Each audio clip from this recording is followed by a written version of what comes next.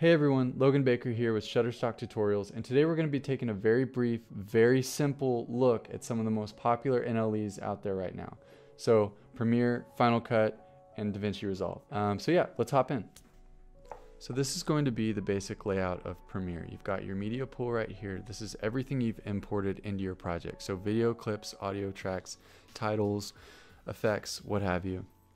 Then you have your source monitor. So you're going to bring a clip that you've imported into your source monitor right here. And then from here, you're going to edit the clip down just a little bit. So we're going to, I just want until they shake hands right there, cut out, then you're gonna bring it down into your timeline. So when you do this, you will notice that it comes up on your program monitor.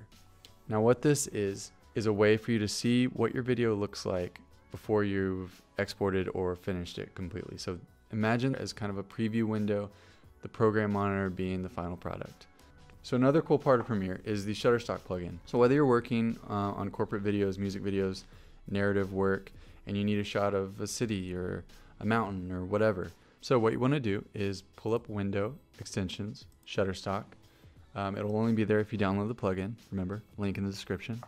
So uh, the cool thing is you can move it to any part of Premiere. So if you want to put it in wherever, Premiere lets you kind of add it wherever is kind of an easy spot for you. I like to put it on the far right and then kind of bring it down to a more manageable size.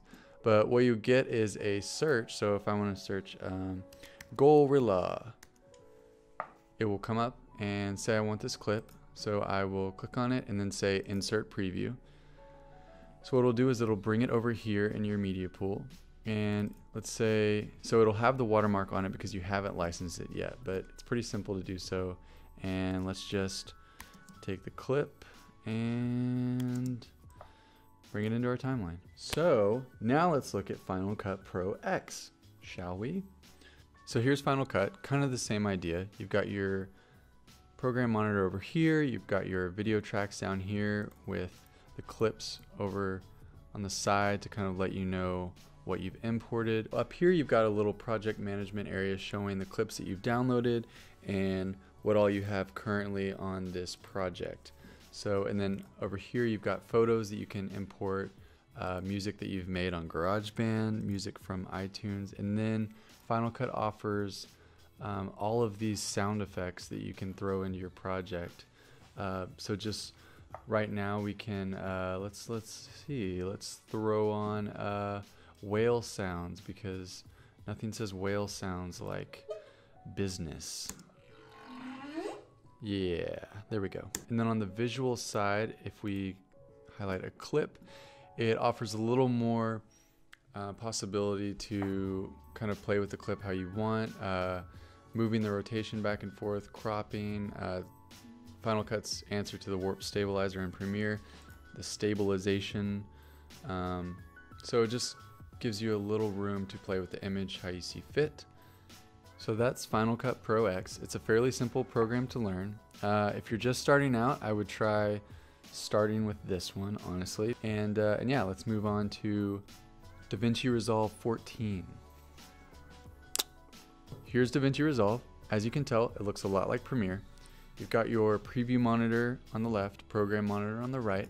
Over here, you've got the media that you've imported. I've brought in our favorite clip that we all know and love of these two boys shaking hands, making some business happen. So for this clip, I already made my selection using the same shortcuts I used in Premiere. Side note, DaVinci Resolve asks you which shortcuts you want to use, whether it be Final Cut or Premiere, so it knows that you're most likely new to the program and have been using ed other editing softwares. Good job, DaVinci. So the real selling point for DaVinci Resolve is this tool down here that kind of lets you play with and edit your images however you see fit. So over here you've got a little more control and you can see every, kind of like on that left part of the Final Cut uh, window, you can see everything that you're working with, uh, whether it be audio, video, effects, titles, what have you. Here's your basic edit where you'll be doing all the cutting of the clips and whatnot. The color is specifically for color grading. It's a lot like the Lumetri panel in Premiere, uh, but I think it gives you way more control. The Fairlight part is essentially their answer to Adobe Audition, and apparently you can add like up to a thousand audio tracks or something, which is insane. Uh, but basically, if you want to add a bunch of sound effects or control your soundtrack however much you need to. This is where you're going to go. And at the end, you've got this nice little rocket ship with deliver. And so this is going to be all of your exporting options. Um, anywhere you want to export Vimeo, YouTube, uh, QuickTime, whatever, you can do it here. Um, pretty standard for any NLE.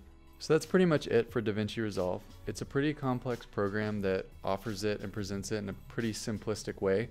I imagine that it's going to take on pretty soon and people are going to be using it more and it might end up costing. So get on that while you can. So I hope you enjoyed this rapid fire run through of your favorite NLEs. Uh, make sure to hit the like button and subscribe. And yeah, I'll see you in the next video.